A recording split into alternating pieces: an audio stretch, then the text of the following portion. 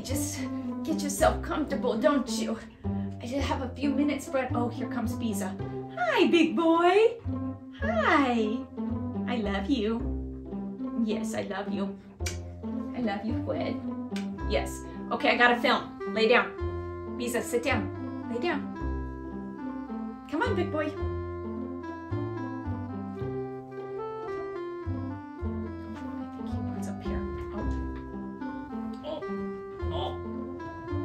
Big boy. Oh, hi! You're so handsome! Hi! I have double the doodles. Double the doodle love. You want to be on YouTube, Bisa? You want everybody to see how handsome you are?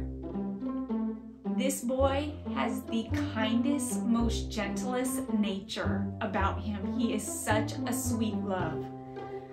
Fred, no, Oh, Fred, where you going? Oh, you're gonna get more comfortable? Okay, good job. Yes, Abisa. He's my son's dog. Oh, bye. Thank you for visiting. I'm not against using books in a DIY. I call it being creatively artistic.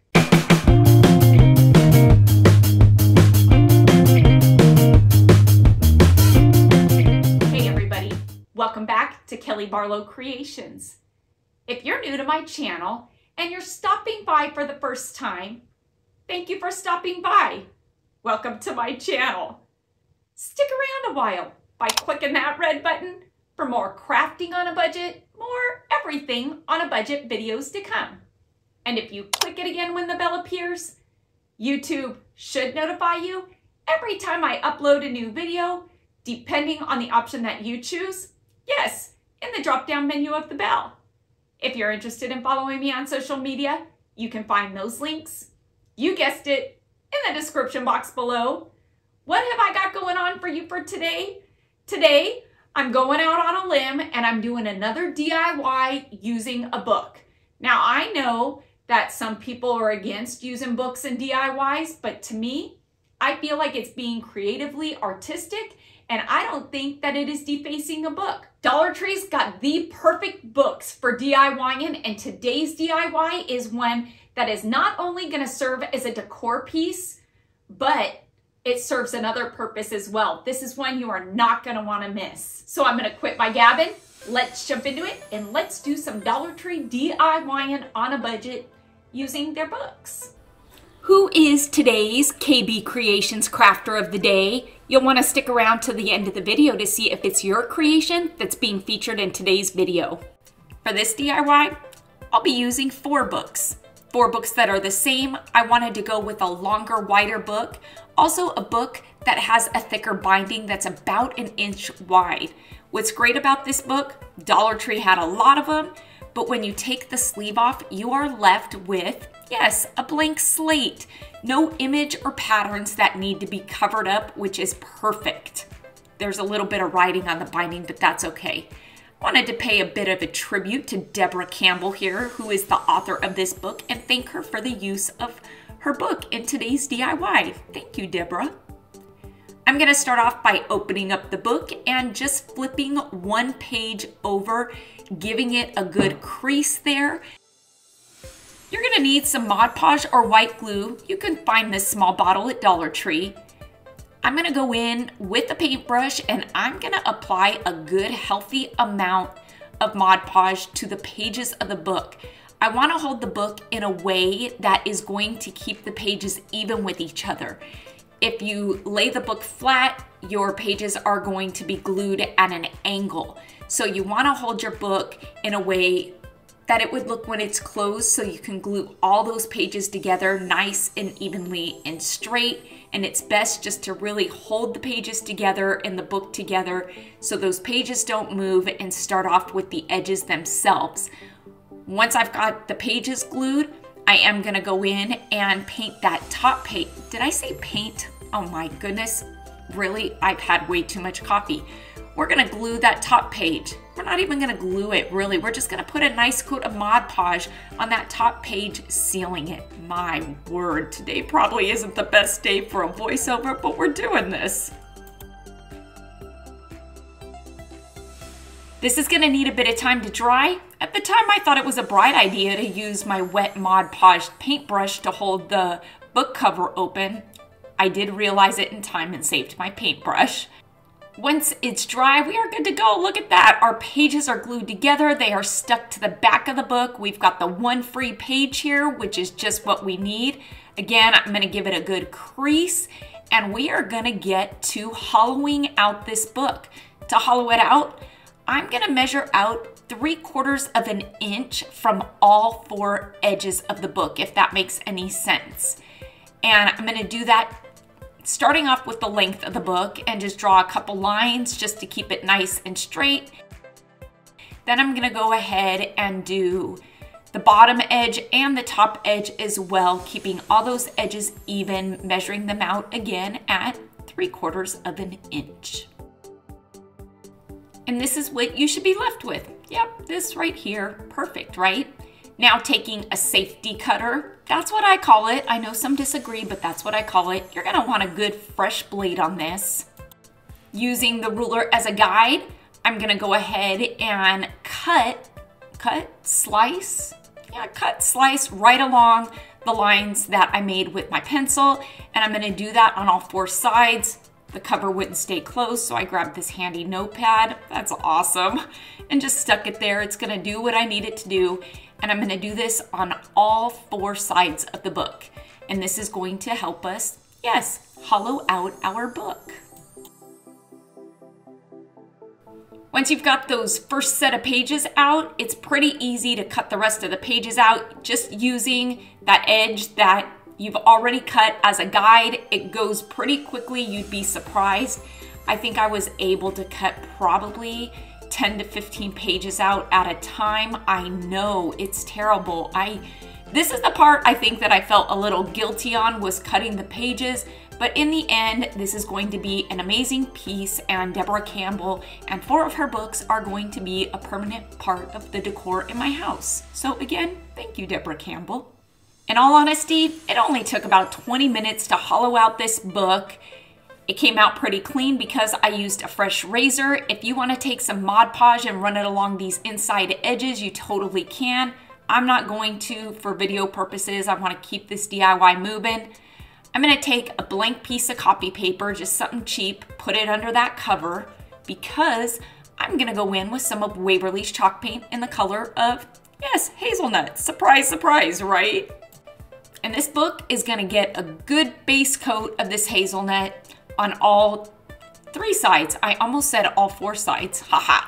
Yes, just one coat is really all I'm gonna go with because once I've got that base coat on, I'm gonna go in with Yes, some of Waverly's chalk paint in the color of cashew. Love cashew. You all know that. For this coat with the cashew, I'm gonna use the dry brushstroke technique, which in definition really is just not putting a ton of paint on the paintbrush and doing long strokes along whatever surface it is that you are using this technique on. And so for this book, I'm not looking for full coverage. I'm not looking for perfection. I am just looking to give it that aged, distressed, weathered look, and that's how you can easily achieve this. I will say though, when you do use the dry brush stroke, you do end up with a harsher look. So you are gonna wanna go in with a light grade sandpaper. You can get a nice bunch of sandpaper at Dollar Tree and you're gonna wanna run over I guess that top coat of cashew, just kind of softening it up, bringing through more of that hazelnut on the binding and on the edges, and that is where you're really gonna see that aged weather distress look come in. When you sand, there is some paint dust left behind, so just taking a damp paper towel, you're gonna wanna wipe over that, getting all that extra dust off. The paint dust. Like I said, I did do four books. I'm gonna stack them. The top book is gonna be a regular book and the second book will be the hollowed out book just to kind of hide our secret hiding spot more that's not so secret because it's all over YouTube now. Haha. to the bindings of these books, I wanted to put kind of an inspirational saying because I'm all about that these days. So I am using a vinyl decal that I cut out with my Cricut but don't be put off by that. Come on now, you know I'm gonna give you alternatives because I always do, and I've got a few for you. Dollar Tree has the most amazing rub-on transfer letter packs. The great thing about these is they come with more than one of each letter, which is great. You're gonna need just a couple of packs of these. Or you go pick up a sticker pack at any of your craft stores in whatever font you want, and you use that. These are great budget-friendly alternatives to the Cricut. And yes, there is another or. Or you can head on over to Linda's Etsy store and you can find the decal that I am using in today's DIY available for one instant digital download. If you've got a Cricut, you're gonna go that option. You're gonna download that to your computer, upload it to Cricut Design Space, and you're gonna cut it out using some of Dollar Tree's vinyl. Or, oh my word, there's another or. You can have her cut and send them to you with free shipping for the bargain price of $5. You can find the link to Linda's Etsy store, guess where? Yes, in the description box below. And so to the bindings of these books, instead of titles, I wanted to go with an inspirational saying because I am all about kindness. And so in a world where you can be anything, be kind. I love that saying, don't you? We are so not done yet. These stacked books need a finishing touch, and that finishing touch would be twine. Now, I know some may be saying, wait a minute, Kelly, you have a hollowed out book in there. How are we going to get access to that hollow book? Well, I'm not gluing the twine onto the books themselves. I glued the end of the twine onto another piece of twine that I had wrapped around the book. So you can slide the twine on and off to get access to your hollowed out book. Where there is twine, there must be a twine bow. Yes, that's a Kelly Barlow quote. And I am gluing the bow onto the twine itself so I can still remove the twine from the books. Dollar Tree's got these nautical wood beads. Amazing. But they do have these boat embellishments on them that I don't much need. And so yes, I am taking some needle nose pliers and breaking them off. I know I could very well unstring the beads and take them off and save them. But I'm not doing that tonight. I'm kind of in a hurry and I don't need these. So yes, I'm just doing this because I want to keep this DIY moving. That's what I do sometimes. Now I've got a string of beads here that I can just tie together. And where are these beads going to go? Uh, they're just to go either sitting on the top of the book or on the side because why not? Because I can and I like beads and I think beads are a fun embellishment to add.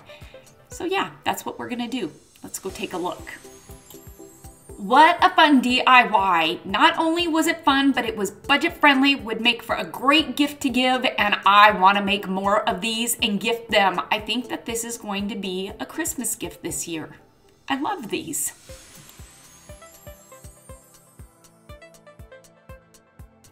Who is today's KB Creations Crafter of the Day? It's going out to Jamie, who's bringing to us her recreation of my DIY glue gun holder using Jenga blocks. Jamie, I absolutely love what you did with this. I love the red truck and the distressing. A job well done. Thank you so much for sharing your creation with us today. Not only is this an awesome decor piece, but it serves as a piece where you can store something special. It would make a perfect gift to give, a perfect budget-friendly gift to give, who wouldn't love to receive a book like this that serves for two purposes, a decor piece and maybe a nice safe hiding place. I hope you all enjoyed today's book DIY. Please make sure to give this video, yes, a big thumbs up. And let's get this video to 5,000 likes. Because like I always say, each and every one of those thumbs up and those comments that you do leave down below, well, they really do help my channel to grow and it helps YouTube to notice me just a bit more. Until next time, everybody, I hope you have a fantastic day. Happy crafting on a budget. Stay happy, stay safe, stay healthy, but most of all, stay positive, please. And bye for now, everybody.